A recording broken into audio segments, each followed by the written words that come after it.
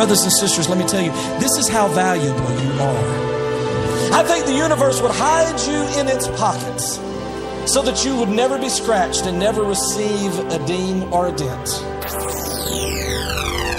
I'm preaching you just like I would have in the old days, just minus a few characters in the story. There's no mention of God or Jesus. Can I get a Darwin? Prepare yourself for a journey, a journey of discovery. The book has been written, the speeches have been done, and now it is time to go between the pages with Jerry DeWitt and Bobby C.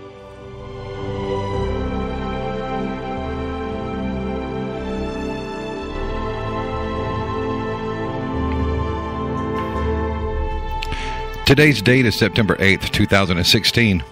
My name is Bobby C., and once again I am joined by my amazing co host, the one and the only, Mr. Jerry D. Hello, Bobby C. Hello, Mr. Jerry D. How you doing, buddy? I'm doing good, and every time I hear amazing co-host, it makes me feel a little better about myself. Well, there you go. See, that that's what this is all about. I, I just want to make sure that you, you feel good about yourself, and just you know that everybody loves Jerry D. Well, if you call me amazing, then I must really be something. because that's, either that or that's, that's, not much of a compliment coming from no, me. I no, don't no, no. It's it's it's like it's like the Sears Tower, you know, saying to another building, "Dang, you're tall." You know, so uh, so I appreciate it very much. No, also makes me think of the Amazing Spider-Man, so that's a good thing as well. See, there you go. It's just good all the way around. Good all the way around. You been doing okay? I have been doing okay. I've been traveling a lot, been busy. I'm tired, too old for the silliness that I'm generally involved in, but um, but but by and large, yeah, I'm doing doing good, and as always, always anxious to get back to this show and to our wonderful listeners. Always. Oh, oh yeah, I'm with you. It's I, I look forward to Thursday nights. I do. I really, really do. I do. Well, guys, if you want to get your questions or comments on the air, you can live tweet during the show at Hope After Faith, or you can join us in the chat room on Spreaker.com. I see Wendy, James, John, Trav. The chat room is starting to get going already, so it's good to see everybody in the chat room. Um, thanks for joining us once again for our live show. Our topic this week is forgiveness after faith. I got a feeling this is going to be a pretty deep um, conversation because forgiveness is normally just a Christian word. You know, it's a Christian aspect. You you read about it all throughout the Bible. Forgive them seven seven times seventy or whatever that scripture is, mm-hmm. and it's kind of it's always laid around religion. Forgiveness has. And I, I said a couple episodes ago when I was talking about the time when I forgave my biological father for everything and I and I said, how much better is forgiveness coming from an atheist who doesn't believe in God than forgiveness coming from a Christian whose goal is to um, gain favor with their far off sky daddy, you know.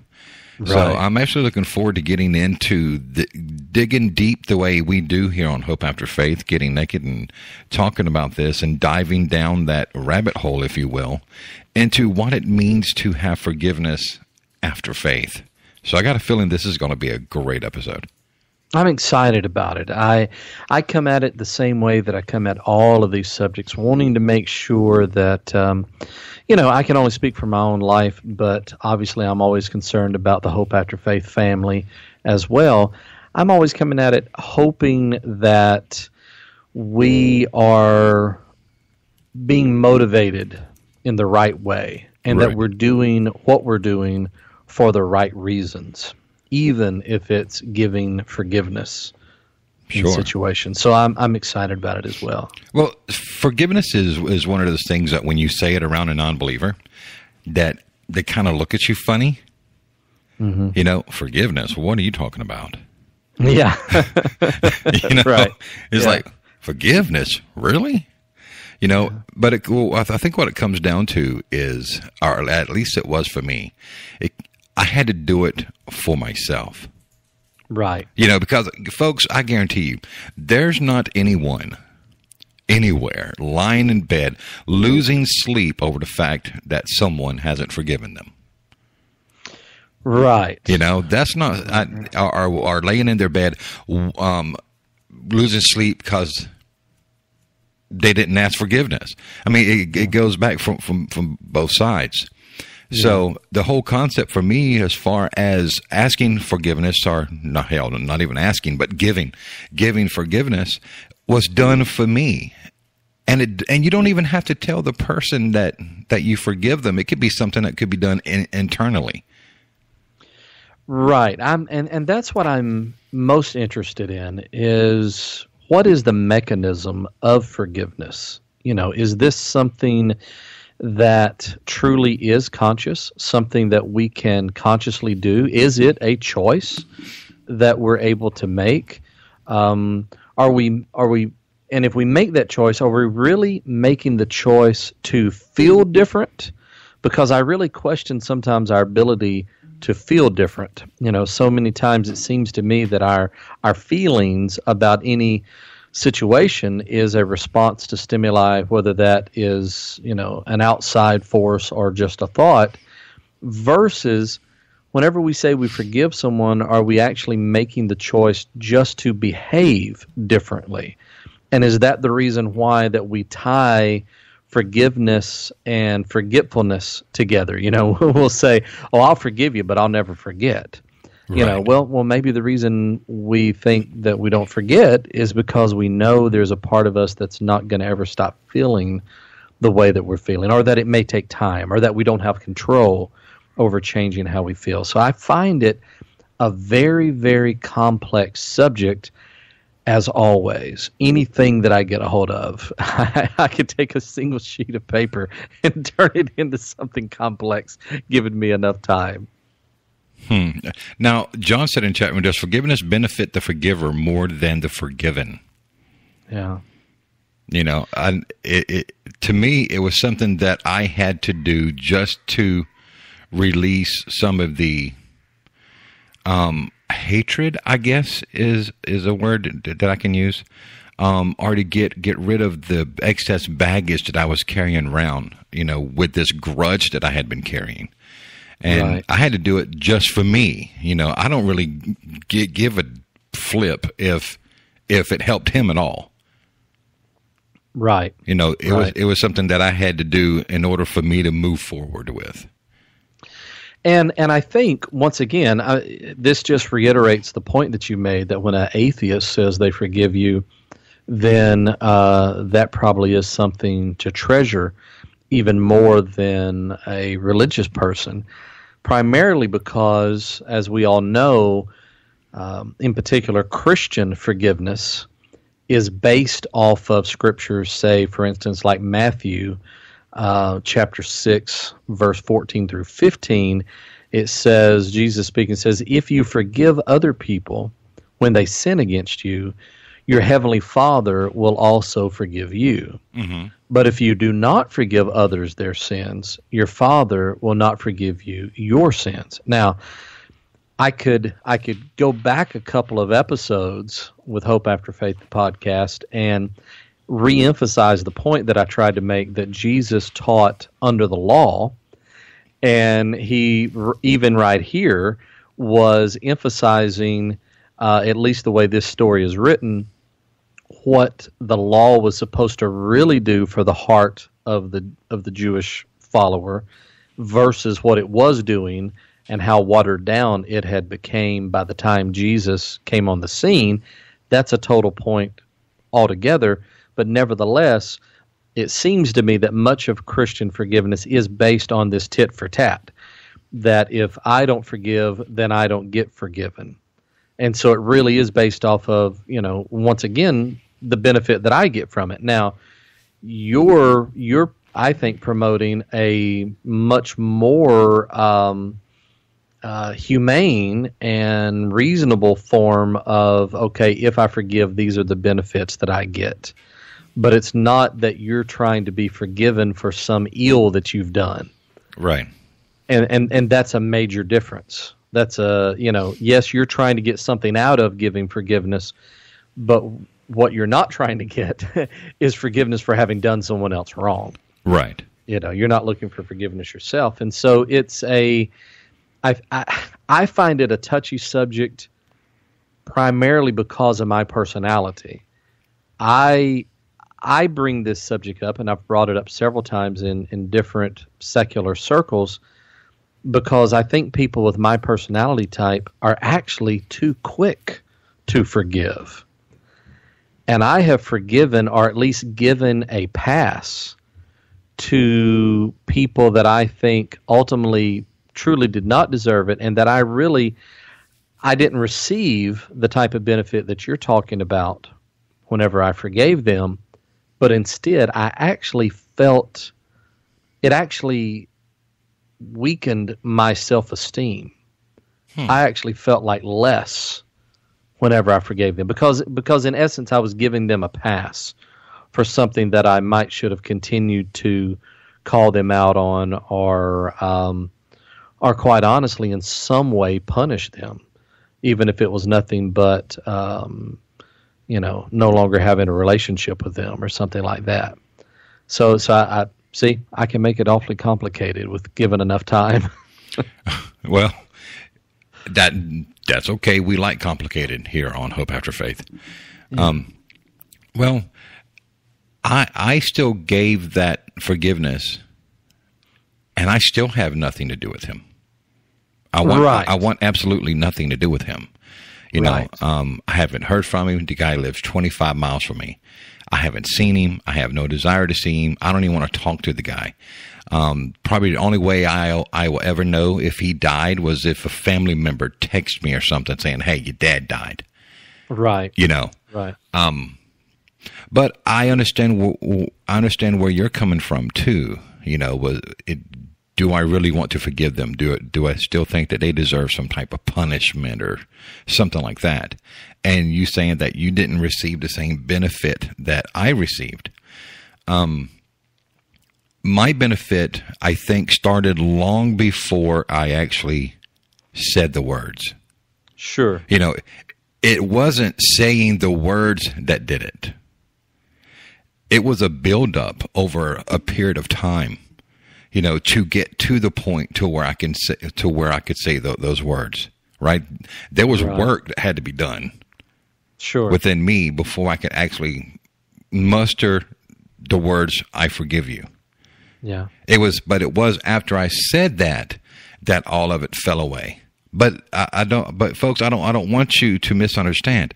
It wasn't saying the words. It was the work that went into building that forgiveness for years before. Right. To make that right. work. Right. Yeah, and and and that's something completely different I think um, I think you've probably struck a balance. You had already drawn a line, and I think this goes straight back to boundaries. And and and one of my one of my very severe critiques of Christianity, or at least the Christianity that I knew, is that it does not teach and enforce healthy boundaries. And you you created a boundary in your life between you and that person that allowed you to give forgiveness and receive the emotional internal benefit from doing so without crossing allowing that person to cross that boundary and do more harm or create more damage right and and and I think that's because that's not what I did, that's why it becomes a very serious question to me. Because I was taught the opposite of if you forgive, then you try to forget, because that's God's type of forgiveness mm-hmm. is is forgetting. You know, cast your sins as far as the east is from the west. Right. And uh, you know, cast into the sea of forgetfulness. And and so if you truly forget, then you have to act um, as if nothing ever happened, which prohibits you from creating any type of boundaries. And without boundaries, it's very difficult to maintain any real level of self respect. You know, you have to be able to say this far and no further. And if anyone at all can catch that reference and understand why that's important today, please put it in the chat room and uh, and I will find some special way to reward you. I promise. Once again, the reference is this far and no further um, on this special day, but you know we'll see. Yeah. Apparently, I slept through it. It's okay. It's okay. It's okay. It's it, it's Yeah. all right. It Very just it just shows it, it says more about me than it will about anyone who uh, who doesn't get it. I promise you. Yeah. So I Um, want you to know, Bobby, before I forget to tell you, I'm having a hell of a great hair day. Are you? Oh man, I am up. Trev got it. yeah. Um. Oh well, see, that's why I don't know because I don't watch Star Trek. Yeah. That's that's why I don't. Yeah. I don't know it. 50th anniversary today of Star Trek, and um, Oh wow, I no so idea. in in in the first contact movie, Picard says this far and no further, and and actually breaks um, uh, breaks his trophy case that has all the models of starships in it. But uh, anyway, I got it. Well, Yeah. look, folks, I tried to watch Star Trek. I really did. I oh tried. Bobby, don't tell me this. This is going to be so sad. I'm about to be very sad. Are you and I, I about tried. to break up? Are we about to? Are we about All to right, here it boundaries? is, folks. Episode 16 may be the final episode of Hope After Faith. I hope you enjoyed it. the bromance. is the bromance is over, man. I, we, Jerry's don't break up with me after this. But no, I tried very, very hard to watch Star Trek, and I just couldn't get into it. And Ashley and I both sat down and, and gave it an honest effort Both of you. to watch it. Yes, And y'all have slept in my house. I know, but let me How tell you. But let me tell you what. It helped me have a great nap. Oh no! What did you try to watch that bored you?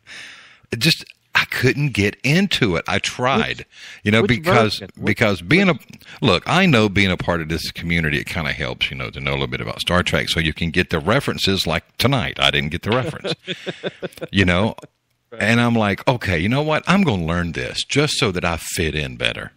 Man, it didn't work. Well, which didn't do you remember? Which series you were watching? I went all the way back to the original. Oh, well, there's your problem. Yeah. Well, see, and everybody says, well, you should have done that. You should start with Generation something, and then you should have started this. Generation something. Yeah. Did y'all hear that? Did the world just hear this man say that? generation oh, something and then and then so i try to go watch generation something and hell it's confusing too Help me, Jesus. So- Jesus, Jesus so- take the wheel. Jesus, take the mic. so my thought was i can go back to the beginning and just start watching from the very beginning and then work my way th- through up whoopi goldberg and everybody else Right. no it, it, it, it, just didn't work i know i wound up i wound up watching you know 48 hours Okay, so so here we are. I'm about. So i'm sorry to let everybody down i apologize I- I'm about to ask you something, and the answer to this is going to determine whether or not you're going to be excommunicated from the secular movement and have to go go renew your baptismal certificate or not. Uh oh, hang on. So- let me so- let me get the closing music ready. So, so what about Doctor Who? Yeah, what about Doctor but Who? you watch Doctor Who? You follow Huh? Doctor Who? Yeah, yeah, yeah, yeah. Oh, okay, okay. No, no, well, then there you go. Just really? like and Yeah. and I caught up on Firefly. Oh well, there you go. Yeah. So so that's good. So you're eclectic enough that you've got Firefly. You're you're uh, up to date enough that you've got Doctor Who. Right. Probably probably the whole Star Trek Star Wars thing Love Star can Wars. can can definitely. Oh well, see there you go. So so you're you're forgiven. You're totally. You don't even have to be forgiven, Bobby. You are beautiful just as you are. well, thank you, buddy. Thank you. Even Travis, Bobby has redeemed himself. no, guys, I, honest to goodness, I tried. I really, really did. Yeah. It's just, you know, it Well, the work. the reference is you know um god what's the quickest way for me to explain anyway um captain picard had uh, had been as- assimilated into the borg and obviously had a whole lot of trauma left over from that and while he's battling them there's a moment where he has to make a decision. He's being challenged to make a decision to surrender the ship, basically, you know, in order to try to, you know, save the greater mission. And so he's got a whole lot of this far and no further going on. You know, you know, we, we, we, we let this pass, we let that pass, we let him go here, we let him go there, and you know, we have to stop things. And I only reference that because I I I see more so now than ever that there is a real healthy balance found in boundaries. And and that's me just going back and giving you kudos again and reestablishing the bromance that even though you forgave this man, you still maintained um, a very very high wall Oh yes, know, a, a, very very high boundary, and so so I think that's important, and it's not always something. So so here, let me let me dig just a little bit deeper. Here, here here at least is my take on on the Christian experience. Um, there's a lot of people who, even though they're being taught to forgive and forget, um, that they may actually do what you have done. They may find a way to forgive an offense uh, against them, but yet they still put up a really tall wall, keep a boundary, and, and that would be good. But unfortunately, because of how they were taught, how they are being taught, they actually probably feel guilty for doing what is ultimately the healthier thing to do because they're not following completely through and they have this they have this um, you know this this this image put in front of them continuously that Jesus forgave all the way to the point of allowing himself to be crucified to death. Right. You know, and that's a pretty high standard. Sure. And, and and so if you were in in the Christian world and in the Christian mode as I appreciate it, you would probably feel somewhat guilty even though you were receiving some benefits for forgiving this person, you would probably still feel somewhat guilty for not meeting this higher standard of you know going and cutting his grass and calling him every day to make sure he's okay and you know yeah hell no. and and, and sacrificing yourself for that person. Well let me ask you something jerry. Sure. Can a person really forget? I mean really. Absolutely not. No I, I don't i don't know how we ever even got got it in our minds. Um, I mean, I, I, don't think a person can choose to forget. You know, I, I don't think that mechanism exists. I, I, think maybe you you you can uh, through just natural processes forget things. You know, and and maybe even pretty severe things. You know, um, but I don't think you can choose to. Yeah, because people, you know, forgive and forget. Okay, yeah. that sounds real nice on on on postcards. Yeah. Right. Right. You you can forgive, but I don't know how you forget horrible, horrible things. Yeah, yeah. I, I, I don't I don't think you can. I mean, if if we're going to be if we're just going to be nuts and bolts about it, um, you know, there's an evolutionary reason why you don't forget things. There's a reason, a, a, very beneficial reason why you remember things. You know, and it literally gets burned into your into your brain of what was done to you and how it was done in order to protect you.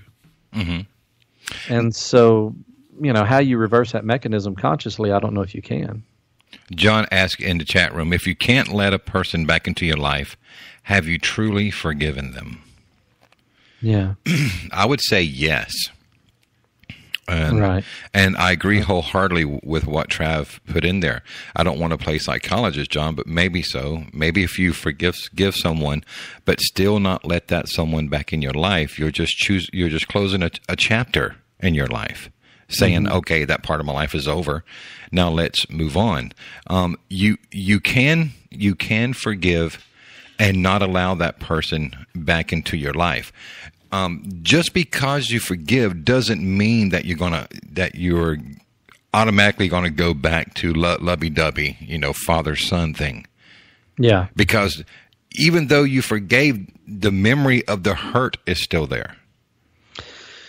Yes, and and I think we need to. Uh, I, I think because so much of the psychology of religion is is literally first century understanding, you know, or at least some derivative of first century understanding. It takes it, it lacks the insight that we now have and the discernment there's your good bible word that we now have determining the difference between actions and feelings and you know the different parts of, of the human psychological experience. Because it's one thing to behave in a way that from the outside a third person a third party person would say oh well that person has forgiven that other person and um, and and and they look so forgiving they look from the outside as if maybe they've even forgotten that it happened. But just because you're behaving that way acting that way doesn't mean that you're not still feeling the hurt uh, you know uh, the damage on the inside. Because you you know you could very easily be making a conscious effort. And because we play these things off due to our religious experiences it's not surprising when that junk resurfaces. Sure. you know la- Yeah. later on. You know you go weeks if not you know or months uh, without bringing a topic up and then all of a sudden the right thing triggers it and there you are. And it's all still very real and very fresh. Um, because i don't know if you really have the ability to help feeling what you feel No, I, well, I, I, I agree. And look, j- just because you forgive a, toxic person, right, doesn't mean that you put yourself back into a situation to where you can be hurt again. right boundaries right Yeah, there's just because I forgive you doesn't mean that all of a sudden we're good again because then I'm opening myself up to even more in the future. There's nothing wrong with recognizing going, "Hey, this is a habitual thing for this person and I choose not to be around them." right I can forgive them, but I can choose to not be around them, choose to stay away from them, recognize what's going on, recognize their behavior, and then recognize the fact that hey, I want nothing to do with that. right And That's still right. and still go, hey, I forgive you for everything you done for that, that that that you did to me. I forgive you for that. And then I'm done. I'm walking away. Right. And I'm going to leave everything behind and I'm going to move forward and I'm going to work toward another aspect of my life. right There's nothing wrong with that. No, there, there's definitely nothing wrong with that. And, you know, I, I will give credit where credit's due. Brother Lewis Robertson at Six Mile United Pentecostal Church, I remember him. He was one of the first ministers that I ever heard express something somewhat similar in saying that you don't have to be best friends with everyone in the church. No. you know and now he had to stretch it a little bit further and say you know you don't even have to like everybody that you love. You know uh, and and that's a little bit of a play on words and it kind of diminishes at least for me the definition of love uh, and what that actually means you know and how you actually play that out.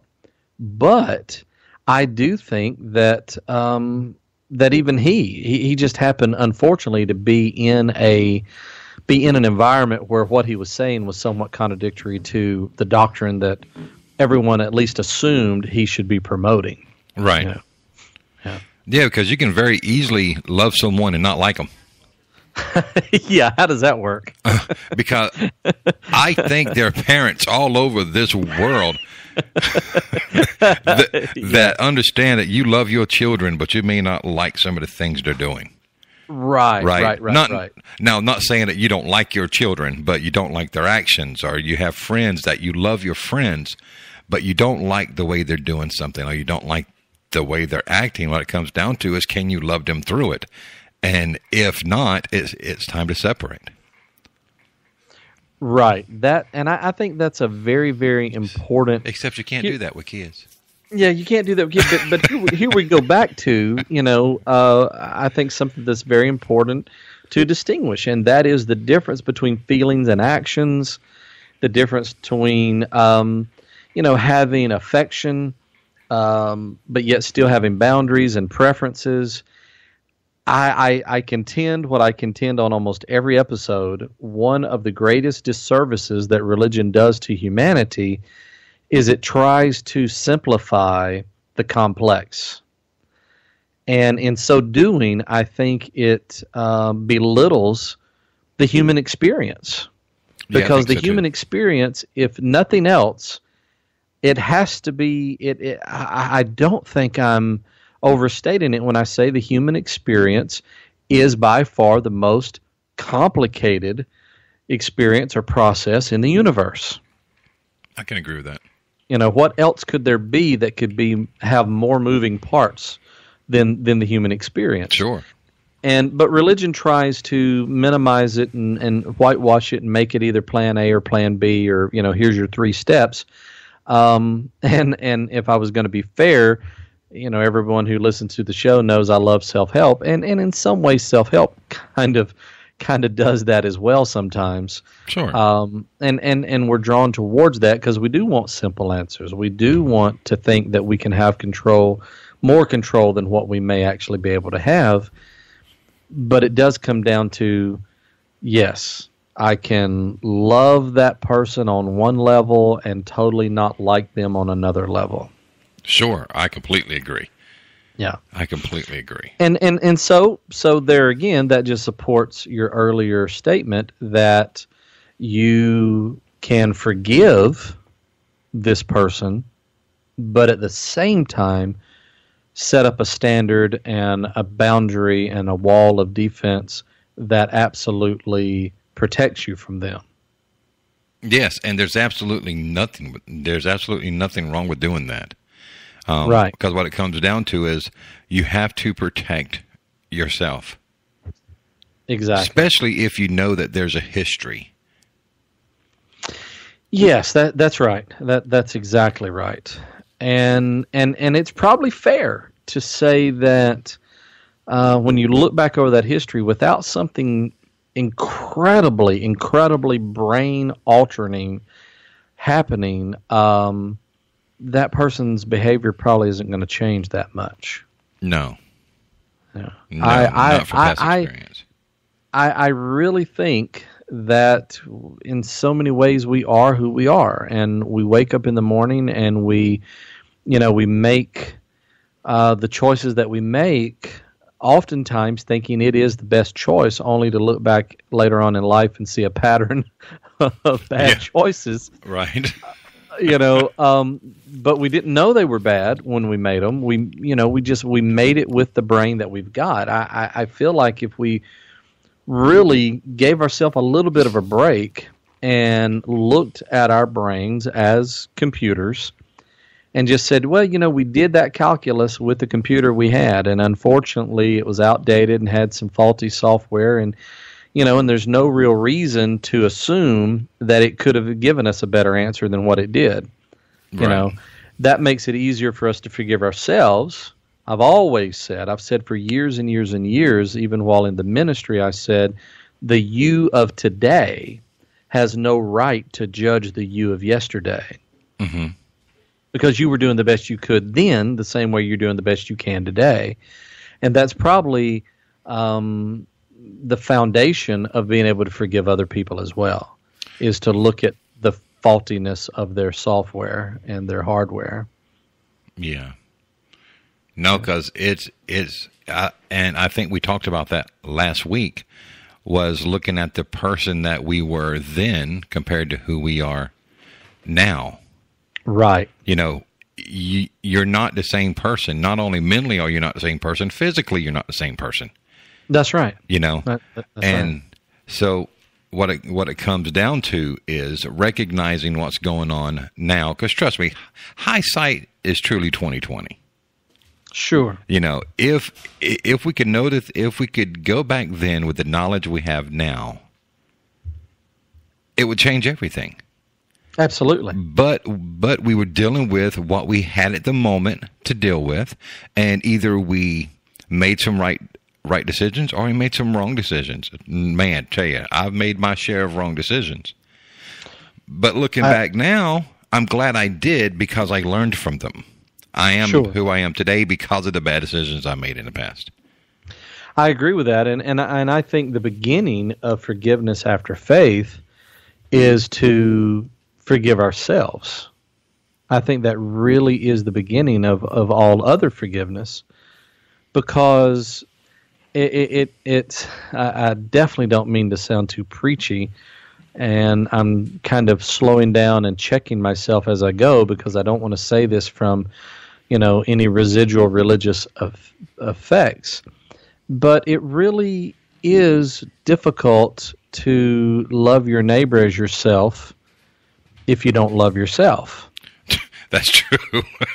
you That's know true. and that's and, That's and very so true. that's something i preach for the last five years is yes love your neighbor as yourself but love yourself first or you're going to really suck at loving your neighbor you know if you don't and i think the same thing is true with forgiveness if you don't have self-forgiveness then how do you from what's the foundation you know from which you move and set up boundaries and forgive other people and i've encountered many hope after faith people that still struggle not just with a sense of regret over time lost but really a little bit of um, hatred would be too too big of a word. I'm, eh, you know, just water it down enough that it makes sense. But a little bit of self hatred, self disrespect over having been bamboozled in the first place and spent so many years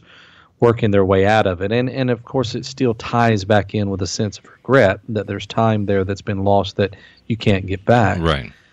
but I think that's an important place to start the forgiveness process. Well, I think the self forgiveness was what I was going through, you know, years building up to the point where I could say, I forgive you.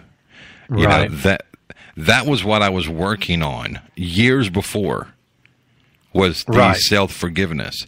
And then Yes. once I got to then I built up to the point to where now I'm actually able to look this person face to face and say those words and mean it Yes. but still understand that there's a history there and that I'm not willing to open myself back up to be hurt again. So I'm going to back away and move on with my life. But that's, I'm closing the doors to that part of my life. The door's shut. And I'm not, Oh. and I'm not going to look back to it. brother, I could preach. Holy cow! Then I- I, brother. love, I love the direction that this has gone. It takes me back to um, Henderson, Texas, on the second floor of this Best Western esque hotel when I was trying to sell ads in a uh, community profile magazine and map, trying to trying to somehow pull my life together um, after leaving City Hall and calling Bishop Carlton Pearson and telling him uh, that I was just, you know, one more step away from being an atheist. And his reply to me was, just love yourself. Just Yep. love yourself. Just love yourself. And I'm going to tell you what, I really think, I mean, I really, really, really think that the more okay you are with yourself, the more okay you are with everybody else. I can get behind that 100%. Yeah. Because there's just so much crap that is only generated in our relationships as a direct response to how out of sync we are with ourselves. You know, I mean, Yeah. when you're when you're comfortable enough with yourself, then you're not looking for the same level of approval and acceptance out of other people. You're not pulling on other people for emotional support the same way.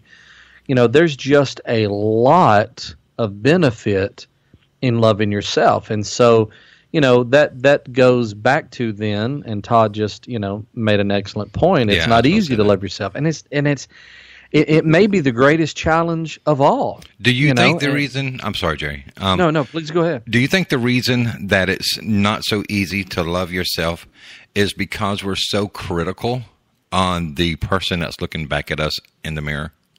Absolutely. Because we are so critical when it comes to ourselves. Yes, You know, whether it's body shaming or there's something about our body that we don't like or our hair or lack thereof that we that we that's the hard part. That's the, yeah. Well, I, I don't have a hard part. Um, shut up, Jerry. So it's is it because we're so critical on ourselves that if we could just let go of that critical aspect of judging ourselves, let go of the judging of oneself, that maybe we can find that self love?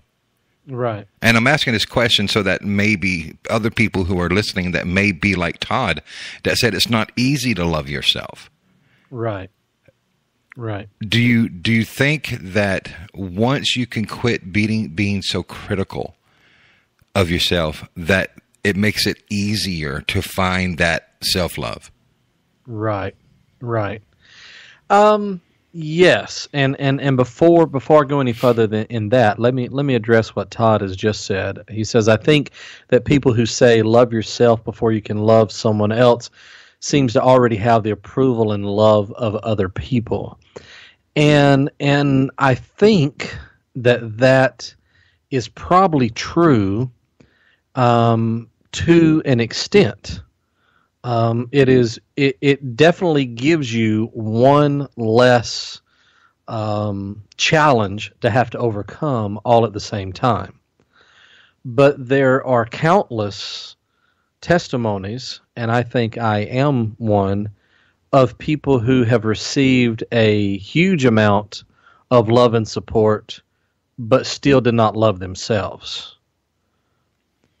and and i'm definitely one of those people you know, I, I I'm still the type of person who struggles to love and appreciate myself when I know that at any moment I could go on Facebook and I could say, you know, I need me a pick, uh, you know, I need a pick me up today, and and starting obviously, you know, with Bobby C and Miss Ashley, but then probably another several hundred people would very quickly reach out and try to make me smile and make me feel better and you know say something positive about me but that doesn't necessarily change what's going on inside of me, you know, Right. going on internally, because you can filter all of that out in such a way as to make it to to nullify it.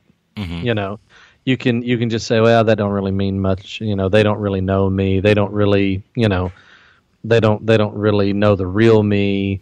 You know, if they knew the real me, then they wouldn't claim to love me and you know approve of me the way that they do Right. that's one of the major challenges that that um, you know activists like like you and I have, particularly in the secular movement, is we're always a little on edge, thinking that at any moment we may show a part of ourselves that we've not shown so far, and completely lose all of our friends and you know quote unquote followers and, and all of those things you know? And so so so back to todd's question it definitely can give you less to have to overcome but i'm i'm not sure that that's the answer you know? And Right. and i think that i just know people in my life that have found ways to love themselves even though the rest of the world didn't love them you know so Yeah. so so it's i, I think you know, once again it's complicated and, and can go can go either way. But going back to the being critical of yourself i have to think that once again there's a biological um, impetus for for being critical. You know how well do you survive in you know in the wild if if you don't beat yourself up for making mistakes you know if you're just like oh everything's cool and groovy and i'm just going to sit here you know under this tree till lightning strikes you know um, are are you know is being critical of yourself and of the situation and of what you're producing does that play a certain amount of a role towards you know survival and progress and doing better? And i think in some cases it probably can. Um, but it's definitely I think it's definitely the place to start. And and I think probably forgiveness, you know, Yeah. is is the is the way that starts. Randy said in the chat room, doesn't Christianity push that? We are awful sinners and should be critical of ourselves. Absolutely. Absolutely. I mean, nobody can sell anything by starting off by saying You're you're, totally awesome and you don't need this. Right. You know, you're complete the way you are and you don't need this, but would you buy it from me anyway? Yeah, You they, know. they they tell you you're sick and then sell you to, and then sell you to cure. That's exactly right. And so that's, you know, that that that that's part of any institution. That's that's that's anything. We we beat religion and churches and doctrine to hell and back over that, but that's everything. You know, that's that's literally everything in the world functions that same way. Um, and and the things that don't function that way don't don't survive very long. Right. So, but but but I think the critical part is is definitely um, is definitely the biggest challenge, and literally everything in our world and in our culture plays on that. Sure, it does. From the moment you get up in the morning, you know you're comparing. You're forced. You're made to compare yourself with with other people, with other situations and um, and everything is a test and everything is a standard everything is a scale you know it's really really really tricky It indeed it is. Yeah. So so many people having to leave us early bye y'all love y'all so much Yeah. Good. Good night, everyone that is leaving us in the chat room. We definitely understand having to get up early for work. yeah definitely So we do. But we want to tell you thank you very much for being here with us. Um, RJ, go take care of that cider. And and thank you so much, the guys that are in the chat room that do have to leave us early. Thank you for being here. We love you. And we really do appreciate you. So, so yeah so so it's it's I, I as always my motivation is you know let's let's do the right thing the best we can um, but let's do it for the right reasons. You know let's let's try to make sure that we're still not being influenced by religion in some way. Just because we no longer believe in the supernatural doesn't mean that superstition isn't still playing a role in our behavior and in our, the choices that we make. yeah, and I think it always will to to some extent.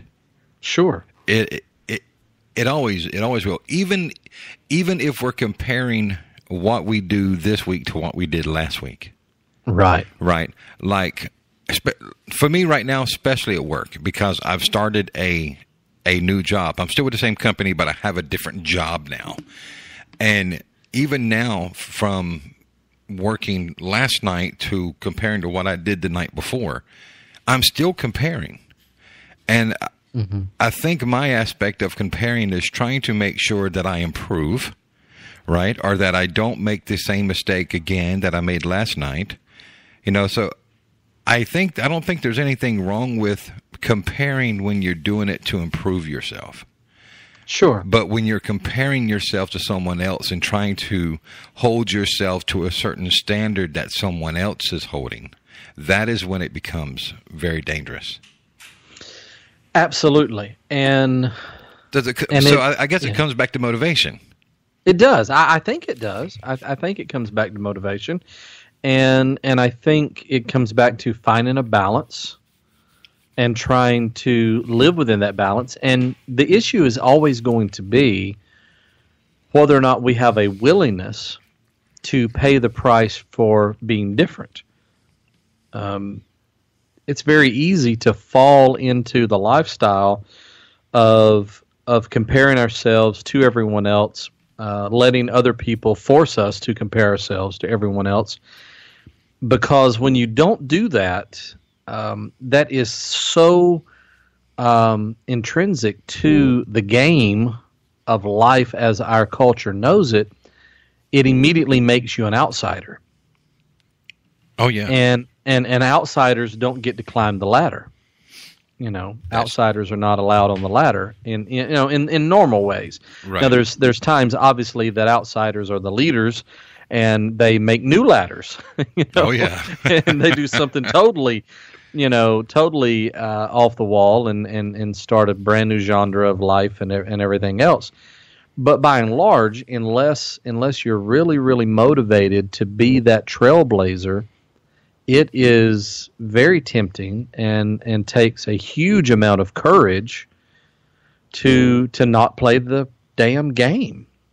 It is hard. You know, I mean, it, it's very hard. I mean, Yeah. and, and and you and I, even on something as simple as this show, we can find ourselves struggling with those kind of things. Sure. You know, because you and I, what we're doing with this show, in in so many ways, we're doing simply to please ourselves and to please people that we think are very much like ourselves. You know, the very much the hope after faith family. Well, we could come at this from a completely different direction and say, "Oh no, no, no, we're going to follow we're going to follow the the model and, you know, for to be able to get the listens and to get the sponsorship and to, you know, and play the game." And that's not criticizing anyone who's chosen to go that route. Um, but we haven't chosen to do that. And and you have to be willing to pay the price for those choices. Yeah, we're not we're not ever going to be willing to do that. Um, the I love being the type of person that goes against the stream. Sure. You know, when everybody else is going one direction, I'm the one going in the opposite direction. Right. You know, I would much rather have a show like this that we dive deep into topics and hopefully, um, if I can use your word, become a self help type show. Sure. You know, for people who are coming out of their faith, who are graduating from religion and wondering, what now? What do I do now? Right. We're wanting this show to be the bridge Absolutely. if you will, right? So I would rather sacrifice listenership, I'd rather sacrifice sponsorship and sacrifice these things that a normal, you know, formatted show and scripted show and all this would get. Just knowing that maybe someone will stumble across our show here and we help them on their journey. That's what this is about. That's what that's why we bare ourselves here. And we open ourselves up to our listenership to give you guys a look behind our curtain, if you will, sure. with the hopes that maybe someone else is dealing with the same type of issues we're dealing with and they can listen to it. And if nothing else, they know that they're okay and that they're not crazy. Absolutely. That that's that's exactly right, and I love that you brought it to that point. Know that they're not crazy. Uh, as I've talked about before, as a as a, a minister working, you know, his or her way towards being an ex-minister, one of the concerns that you naturally can have is, am I just self-sabotaging you know the life that I've worked for? Is there something wrong with me? Am I crazy? You know, is the is is is there something truly wrong with me that's making me think these thoughts and push life and situations in this direction? Because you know it's obvious from from other people's experiences and and what you can perceive that this isn't going to turn out real well. You know, if you continue to go this way. So what would be wrong with me? Why am I doing that? Um, and so being able to be a voice, I mean, that's what the clergy project was for me. It was a voice that was saying, "You're not crazy.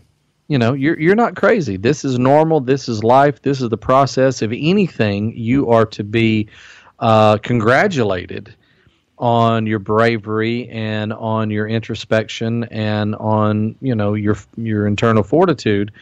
And I hope that's what we're doing with this show as well, Yeah. letting people know that they're not crazy. If anything, they need to be congratulated. We just, as we walk through life, we want to point out things along the side of the road and say, hey, you know, have you ever thought about this? You ever paid attention to that? Isn't that a cool thing?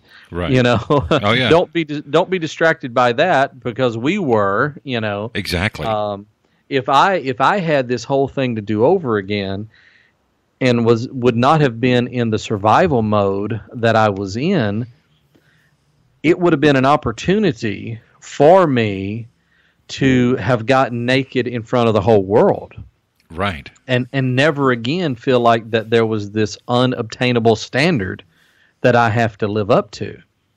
You know, but instead I was in survival mode and I was trying to find my place and people seemed to be liking me over one part of my personality, one part of my experience more than over another.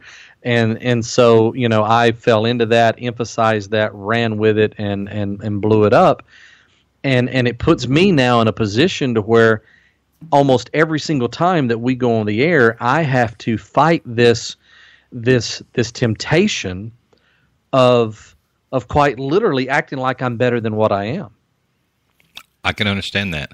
Try because because you've you feel like you have to put on a show, Right. you know, because here we are, we're getting ready to go live. It's time to do the quote unquote show.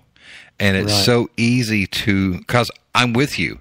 Um I have to sit back and no no no. This is what we're going to do. You know. Um but see, I think that is where your life coaching that that you do comes in for people Absolutely. because you can you can help them and you can show them hey this was a stumbling block for me this this is something that I probably could have done differently you know and you can point them in a direction which is what life coaching is about helping them transition and make their way through life without making the some some pretty major mistakes. Now, Sure. John said in the chat room, leaving religion leaving religion forces you to change your focus from a supreme being to yourself. And many people aren't comfortable focusing on themselves or simply don't know how to be quote unquote selfish or be alone with themselves. I can tell you, John, that was the hardest thing for me was learning how to be alone with just me it's hard when when you're stuck alone and you have to face yourself. That's hard. Yes. And That's damn and, hard. And and thank you for admitting that on your end, Bobby, and thank you, John, for bringing this up. I struggle with this intensely. Intensely, I struggle with this. When when left alone, and and and you know, thanks to technology, we never have to be completely alone. Even when I'm driving for ten hours from state to state, I can be on the phone. You know, I can be listening to you know whatever. I mean, I I, can be listening to CNN. You know, as as I'm driving. But when those opportunities you know come up that I am truly alone, it plays on my anxiety incredibly strong. Mhm. There's there really is something about being alone with yourself that is very very challenging. It is because you're forced to look at you. Right. You're forced to do it. Right. Because dis- distractions are great because Right. you can always take the focus away from you. Right? Right. And I think I was thinking about this. They have all these shows out right now that are drama based shows. You know, that are based on drama. Right. From Teen Mom to whatever, right? Big Brother, all these drama based shows. Right. And Ashley loves them. sure. you know. Sure. And I wonder if the reason that the shows do as well as they do is because people don't mind watching other people's drama as long as it's not their own. Absolutely. It's easy to watch somebody else fall apart. Mm-hmm. You know, And it feels good. It kind of feels good. yeah, which In is, a- which is why weird, they sick do way. as well as they do. Yeah, yeah, it, it it really does kind of feel good in a weird, sick way. It's like watching somebody else fall down, and for some reason, it just, you know, I don't, I don't know exactly what it is, but yeah, Wow. Okay. There's a comment in the chat room from Alan. I saw that. It great? A related problem is that I spent the bulk of my life being trained how to die, not to live. This life did not matter. Death was the beginning of the good stuff. And the thinking, I think, to prepare for, or the thing to prepare for, right? Exactly. We were trained how to die. Religion Right. never taught us how to live. That's right. That's And- so. and- look, that is awesome. That's that's, good. gold. that is, absolutely Thank gold. you, Alan, for sharing that. and and we're trained about so many other parts of life as well. We're trained about what to do at work. You know, we're we're trained in so many other parts of life, but we're we're truly not trained on how to live, and particularly in our culture, because now I'm really gonna kind of it's gonna sound like I'm going off the rails a little bit, but but I promise you I'm not Going off the rails. It's all right. because our mythology, particularly Christianity, because it has been taken so literally for so long, it actually lost the the possible positive effects that mythology can have in a culture. If you if you study the works of Joseph Campbell, comparative religion, comparative mythology, then then over time you begin to see that mythology in other cultures at other times in, in, in human history became a, a a guide of life.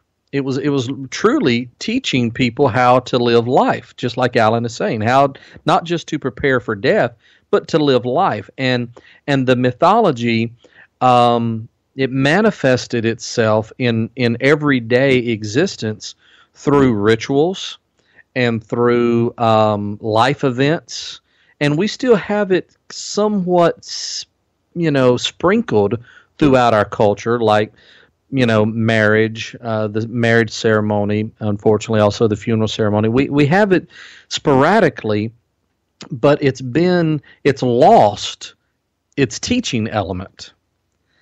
And but there were times that that mythology, religion, actually had a very positive effect on guiding people through the different stages of life, preparing them for what the next stage was, giving them thresholds to pass through that created self esteem and gave them uh, security about their position in the community. These are things that, if religion was still good at accomplishing, and had not been hijacked, particularly in the last couple of decades, hijacked by political forces, then it wouldn't be something to be fought against so, um, you know, so furiously. But but instead, it's something totally different and in many ways not only useless but dangerous. But there have been other times in human history that it was not the case that you you did learn how to be a young man, how to be an, an an older person, how to be a leader, and you were learning about life. But that's not part of our existence anymore. Yeah, you don't hardly ever see that anymore. Right. That's right. And and and it's and and I think it's somewhat because the system um entropy has the system of society just spinning chaotically into a more um, disheveled um, structure, and and and and so the the tightness of the community that's necessary to take whether it's a mythology or to take any other type of uh, cohesive belief system or ideology and superimpose it over the structure and fluidity of life, it, it, those mechanisms just don't exist. Now it's literally about whether or not tide is better than gain. You know, uh, Coke better than Pepsi, Ford better than Chevy, Republican better than Democrat. I mean, it's it's it's literally a complete uh, consumer uh, service based society, and and that's a very difficult format to put this training uh, system into. And that's also what's causing the most turmoil between people. Yes. You know, what are two things that you don't that you never talk about with someone at work? Politics Right. and religion. Right. Right? That's- because you could be good friends with someone and get on a topic of of politics and you can completely ruin a friendship Oh, absolutely. arguing over politics. Absolutely. You know, it is it is those things that is, con- in my opinion, that is continuing to um, broaden the divide, if you will, between Right. people. Right. You know, Right. they they say United States, but really and truly, if you look at it, we're really not that united. Right. We're we're divided. We're divided racially. We're divided um, re, re, by. Um, I just lost my thought. Probably by regions, by Getting old, man. Yeah, no, no, no, no. Well, it's not just politically? you old. You've been working hard. yeah, well, we're divided politically. We're, Yeah. we're you know racially, all these different lines that are dividing us and pushing us further and further apart. And Todd Right. said, "Don't you dare talk about money." yeah, that's a subject as well. That's a taboo subject as well. You know, but it is, Yeah. but it's it's these things that are dividing us. We seem to have lost our our focus, our our view on what it is that brings us together. Yeah, yeah. You know, now when you start talking about togetherness and you start talking about community, you start talking about bringing these two groups together, you're looked at like you have three heads. Sure. You know, sure. what is wrong with that guy? He's weird. Yeah. When did yeah, that no, happen? you're right. Yeah, I don't know. You know, I because this is the only life that I've lived. I I don't know if it was ever any better. I I have to think that it was. At least hope that it was at some point, or at least at you know little pieces of different points of history. But we're definitely at this moment we're definitely subjected to divisiveness because divisiveness sells. Divisiveness is sexy and and it sells and that's the type of of culture and economy that we live in that it is a truly sales oriented, you know, uh, existence. And so I I think it goes right back to being able to love ourselves, which I think forgiving ourselves is key, and then focusing on trying to learn how to live life. I think that's what Hope After Faith, the podcast, is about, is about trying to learn together, all of us, um, you know, on how to on how to live life, actually live life this time. I, I feel a little fortunate because, in a very odd way, the cult that I became a part of in Des Moines, Iowa, they had a little bit different of a take than what people like Alan and I were accustomed to hearing. It wasn't just about dying and going to heaven and everything's better there. Their doctrine actually taught that your place in the hierarchy in heaven would be directly related to how successful you were at being a spiritual person in this life. So there was still a caste system in, in heaven as far as they were concerned. And so they actually did focus somewhat on learning trying to learn in their skewed way of how to live life and and and, and how to do better now Right. you know um and and and so i think that planted seeds in my mind of oh i, I need to i need to learn how to get you know m- my stuff together because at that time we were being taught that the more successful you were in life and by success it didn't necessarily mean financially successful but at overcoming your weaknesses and you know becoming more christ-like that you would then uh, rule over a larger portion of the new earth. And and you know I was ambitious and I was like oh I, you know I don't I don't want to just be bossing ten people around when I can boss Right. you know a thousand around or Yeah. whatever you know once again playing off the comparison Sure. you know um, i don't know if there's ever a way around that you know i mean is but but it did it did plant some seeds on eh, you know I, I need to figure this living life thing out Yeah. The the atheist said in the uh, chat room, oftentimes it was a war or some other threat that brought society together. That's why the church tries to make the outside world seem threatening. And he's absolutely right because look back at at at 9/11. When 9/11 happened, there were American flags flying everywhere, right? Everybody of every race, every creed, every everything was brought together by this horrible event. And then look what happened. Eventually, the, all the flags went away. Everybody started going back to their old to their old selves, and I I think they're right. It it is something cat- catastrophic has to happen in order for us to come together.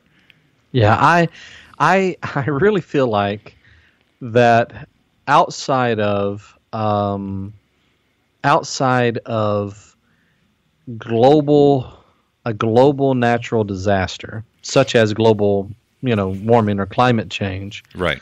uh, climate change i think would be a much slower process of bringing of bringing people together you know. Uh, it might it might do just the opposite in the very beginning as people struggle for resources and things like that but hopefully on the other side of that it might would bring people together. And you've got oh my gosh you've got fantastic people out there like reverend reality um, michael dowd if you know if our listeners don't know michael dowd look him up. For some of you uh, because he uses religious language it might make you sick and you know you might puke and, and, and hate that I brought his name up and you know and, and unfollow hope after faith. Uh, but for others it'd probably be great to, to see this other way of doing some of the same things that all of us are trying to do. Um, you know he's got hope that what he's doing the foundation that he's laying right now of trying to create somewhat of a naturalist uh, mythology that promotes unity and promotes loving the earth and tending to our resources that that foundation will help people on the other side of the bottleneck um, you know um, build build what it is that we wish we already lived in you know Yeah. um, but I I've always thought, you know, probably the quickest way that we would come together is is if we really did find um, you know life on another planet and and it wasn't that friendly, you know. yeah. So uh, I, I do think it does take a third, you know, uh, something an outside entity to force us to unite, and and and then, unfortunately, it's only temporary. Yeah, and and you said the correct word. Unfortunately, Yeah, Alan. Alan says, "Damn, Jerry. Most people are just worrying if they can get in. Speaking about heaven and talking about getting in heaven, he says, not planning to boss people around when they get there. Hey, there is absolutely no um, end to my ambition. there's, there's there's no end to, to to how egotistical and self-centered I can be. hey, if you're gonna be something, be the boss. Hey, if you're going to go to heaven and there's different seats to be in, be in the seat. You That's know, right. That's right. Have people bowing before the throne of Jerry. exactly. That's right. That's what it's all. I, I know. See, I knew exactly what you were working toward. I knew it. See, Right. even in even in eternity, I'll be Ed. I understand. Oh, would you stop? even in eternity, I'm stuck as Ed. I got it. Oh no, no, no, no. So, what is the wrap up for us tonight, Jerry? Well, um, I, I'll be anxious to hear your wrap up because, to be honest with you, I think I think Bobby, you've been more successful with with getting this subject right and and striking a balance uh, with it than I've been. Uh, I I think the wrap up is not just to love your neighbor as yourself, but to forgive your neighbor as yourself. Forgive yourself first, and and in order to do that, if people are looking, they're like, oh yeah, you know, that you make it sound so easy. I really think you should reframe your history uh, in this way. Look back over your life. Look back at the version of yourself that you're not pleased with, and and truly do give that version of yourself the benefit of knowing that you were using flawed software, flawed hardware, and by flawed I simply mean hardware and software that wasn't able to know everything all at the same time. Mhm. You know, that's the bottom line. You know, obviously, if you could have known everything all at the same time, then yeah, you may have made better, different, and better decisions, but you were doing the best that you could do so the you of today really doesn't have the right to judge the you of yesterday. Exactly. And it's like Todd said earlier. Sometimes it's hard to love yourself. Sure. It is. Um, if I had to do my wrap up, my wrap up would be this. There's nothing wrong with taking the time to work on you. There's nothing there's nothing wrong with that. Don't worry about what other people think of what about what you're doing cuz ultimately in the end it is the eternal work that you do on yourself that is going to ultimately make you a happier person with you. And once you're able to find that internal happiness, that is when you're able to start working on loving who you are as a person. It has to start internally. Don't ever look outside yourself for external happiness because it's fleeting and it's going to fail you. So take the time, do that inner work. I promise you, it'll be so much better for you in, in the long run. Because, look, my grandmother told me that before you can love others, you must love yourself. I understand the sentiment behind that.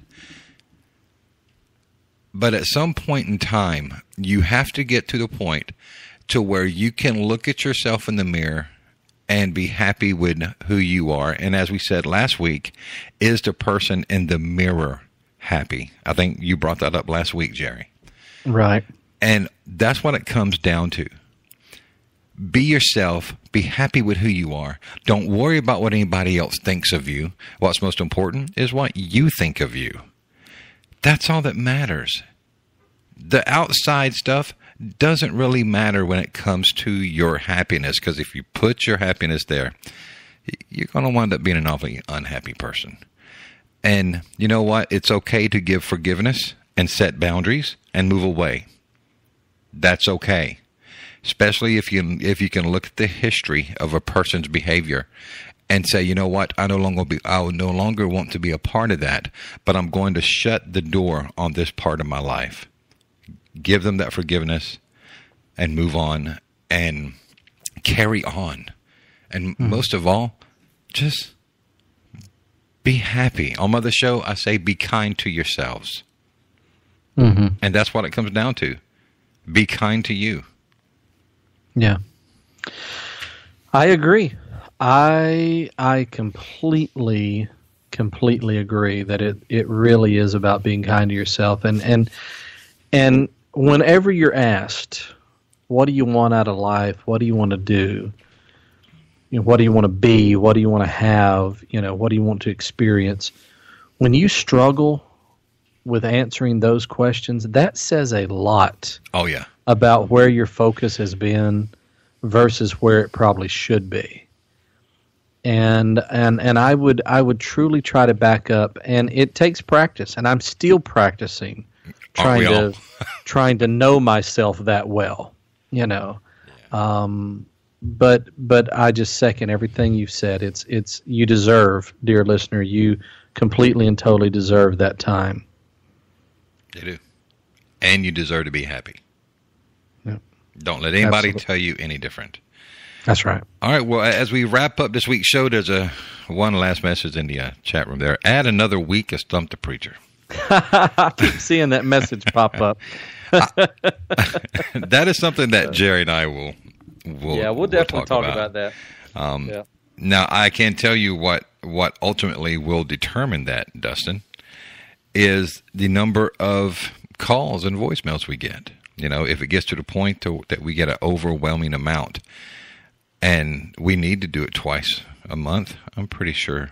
I'm pretty sure we can do that. But it is the listeners that are going to determine that with the number of calls and stuff we get. Um, guys, keep in mind that you can find us on iTunes, Stitcher, and Spreaker, of course, right here on Spreaker, live every Thursday at 8 p.m. Eastern Standard Time at 7 p.m. Central. Um, come and join us in the chat room. The chat room went really well tonight. Thank you to everyone who has contributed to the show.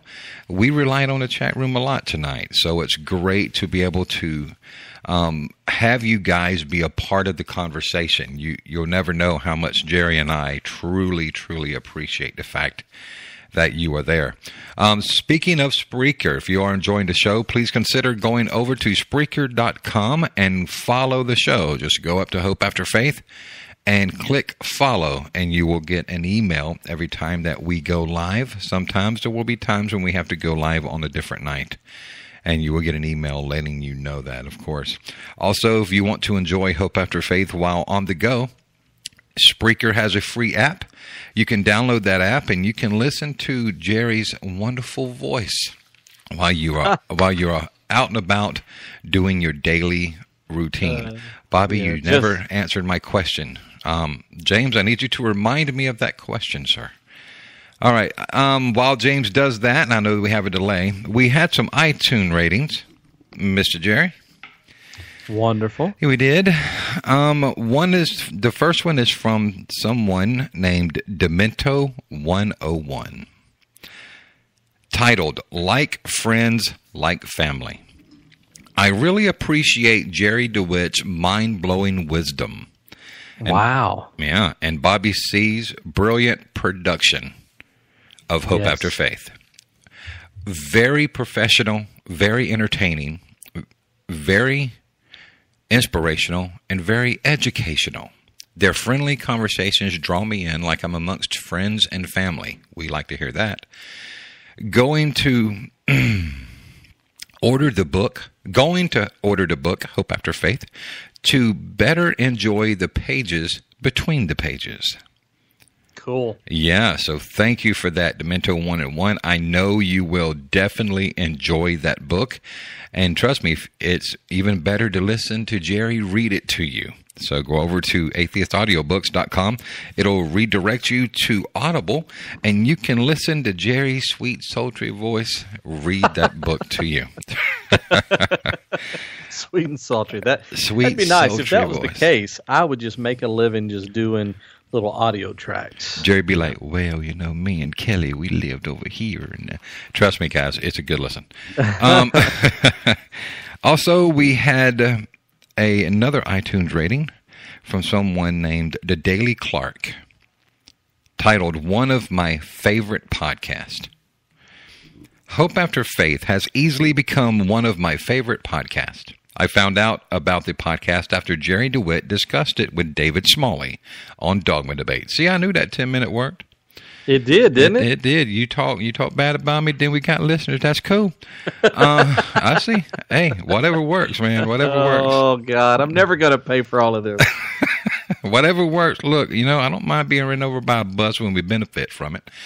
Um, since uh, then, since then, I have kept up with the new episodes as well as going back through the back catalog. Jerry's amazing voice and personality shines on every episode, and Bobby C is such an excellent host. The two complement each other extremely well.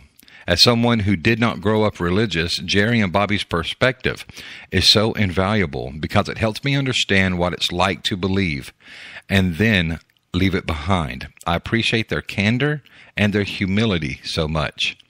I honestly believe that episode 3, Father Knows How to Hurt Me Best, deserves some sort of award for broadcasting. Wow. Yeah. Every episode makes me feel like I'm in the room and on the coolest that is hope after faith, out of coolness that is hope after faith. I can't think of too many other podcasts that do that. Keep up the great work. Peace and love, Justin Clark. Thank you, Justin. How awesome. Yeah. And and I agree. We deserve an award because we're, cause we're badass. Um, yeah, yeah. It, it's coming. It, it's in the mail. it's in the mail. Yeah, about like my high speed router. It's been in the mail for a week. that's that's a that's a shout out to you, Comcast. Yeah, don't even get me started. I'll start cussing on this family on this family friendly radio show. but thank you to every to to everyone that has gone over to iTunes, leaving us a five star rating and the wonderful comments that you have. I can tell you it it it touches our heart to know that you guys are enjoying the show, that you're enjoying the fact that Jerry and I are willing to bear ourselves before you and allow you to get an inside look into our past lives and even the lives that we're living right now. Um, thank you very much for that. If you want to join Demento 101 and the Daily Clark and leaving us a five star rating. Go to iTunes, leave us a comment. I promise you it will get read on the air. And do me a favor. If you are a listener that is listening outside the U.S., if you leave us a rating on iTunes in your country, please let us know. Send us an email, get on Facebook, send us an instant message or something to let me know so I can go over to that particular country in iTunes and pull that rating up. That way we can, of course, give you the attention that you deserve that you've given us. So please do that for us and make things a little easier for me over here. Um, Jerry, let them know where they can find your book. Let them know about that wonderful life coaching that you've got going on and all the other good stuff. So, as always, uh, if you want a copy of the book, a hard copy, then you can go online to any of your favorite book retailers. If you want an audio version, I would suggest you first try atheistaudiobooks.com. I highly recommend the audio version just because I had so much fun reading it to everyone. And then, if you want to know more about what we have going on on a daily basis, then you can simply go to jerrydewitt.net. It will take you to Team DeWitt's Patreon account. You'll see that every day possible, we try to put something out that would be entertaining or inspirational for you. And um, in the process of that, you'll get a little bit of a taste of the subjects we deal with in life coaching and if you would be interested in becoming a client, then you can just reach out to me uh, through j underscore DeWitt at hotmail.com. Yes, I'm that old. I still have a Hotmail account. I didn't even think Hotmail was still around anymore. Yeah, it's funny whenever you whenever you whenever you whenever you Google Hotmail, it takes you to Outlook. Yeah, you know, it's so, on it's yeah. on it's on page thirty eight of two million is where you find Hotmail. Yeah, exactly. I think, but you know what? I think Hotmail was the first email I had way, way back, like early, early, early two thousands, late nineties. Yeah, I had yeah. it. I had it way back there as well, and I've just kept it this whole time. And uh, and if for some reason, if you've reached out to me, I just noticed because I've been traveling, I have over two hundred unread messages, and wow. so um, if you Good, if you've reached out to me and that hasn't worked, then please reach out through Facebook. That may be even faster. Todd says Jerry may have a Hotmail, but he doesn't seem to check it. oh, see, and that was before I admitted it. that's pretty good. Uh, apparently, there's one sitting there from Todd.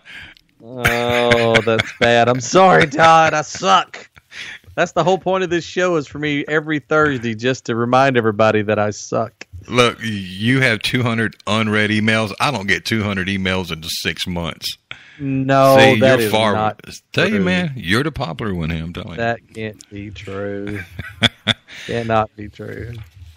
should James? Should I share the cell phone number? No. Let's not do that. Let's not do that. Um, but guys, please consider going over and getting that that that life coaching from from Jerry. Um, I can tell you that he has helped me out on so many different occasions just throughout my life. You know, in the time that Jerry and I have known each other and have grown to um, be brothers and, and and love each other. Um, he has helped me out on many, many occasions. So please, if you if you just need someone to help you with your journey, Jerry is definitely the guy for it. So please send him that instant message, get in contact with him, and I promise you, you'll never ever regret it. Um, we do have a website. It is hopeafterfaith.secularmediagroup.com. You can find us on facebook.com slash hopeafterfaith podcast. Also, guys, we have a closed group. If you want to join our group, um, we have had several people now that have joined our group over over the week. Um, that is the Hope After Faith listener page. You can go to that page. You can discuss things that you've heard on the air. Jerry and I, we comment in there often. And apparently that's why he has 200 unread emails because he's on the listener page. Somewhere else. Yeah, exactly. um, exactly. Twitter.com slash hope after faith. And you can always send us an email. Um, we're glad to hear from you at Hope After Faith podcast at gmail.com. Keep in mind that we still do Stump the Preacher. We've gotten two new voicemails since we did our installment last week. Um, Our number is 6307 D E W I T T. That's 6307 DeWitt. Call that number, leave us a voicemail with, with your three items, and let's see if you have what it takes to stump the preacher and get one of those nice I Stumped the Preacher t shirts and an autographed copy of Hope After Faith from Mr. Jerry DeWitt, because I, I know that'll be a great gift. All right, Jerry, do you have anything else that we want to add before we bring this week's show to a close? I think I'm good to go, my friend. Everything seems to be rocking along. I want to thank Paul DeWitt for allowing me to sit in his studio and Paul D. broadcast tonight. Uh, being on the road, I'll probably be back in Paul's studio again next Thursday night, but hopefully after that, I will be sitting in my own chair for a little while. Busy times, but it's definitely, definitely worth it. So thank you, Bobby, for all of your hard work. Oh, my pleasure. And also, please give my um, love and thanks to your wonderful son, Mr. Paul D. That'd surely, surely will. I tried to talk him into being on the show, but he just, you know. He don't love me. I understand. Um, and for final, James said in the chat room, Jerry has been a real inspiration in my life. He has been so courteous to my wife and I, giving of his time and attention. So I am so thankful for what he has dedicated his life to. What better way to close the show than that, Jerry? Mm, that's too sweet. Well, as always, our closing song is Last Prayer by Chris Beland. You can find his music at Beland, that's B E L A N D, dot bandcamp dot com. We dedicate this song to the memory of Samantha Bannister. Um, hashtag Team Tiny Dancer forever. For Secular Media Group and Hope After Faith. Until next week. Be brave, my friends.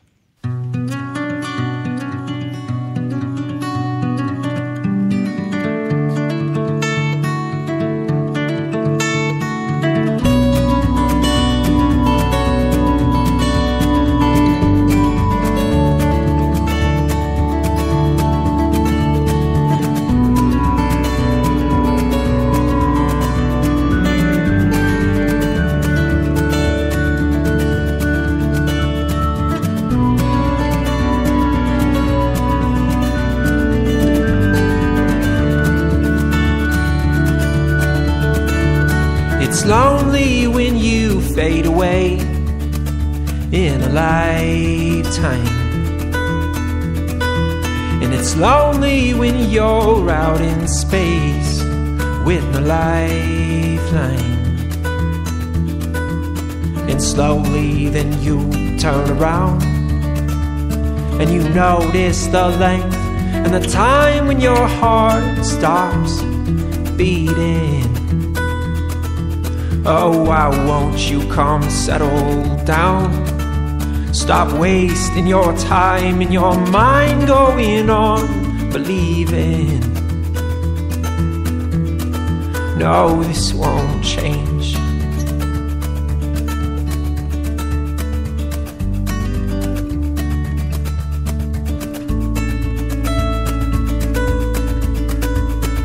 Lord knows you know I can't tell where I'm going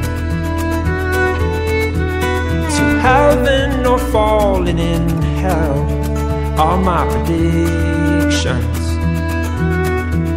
I only speak what I have heard.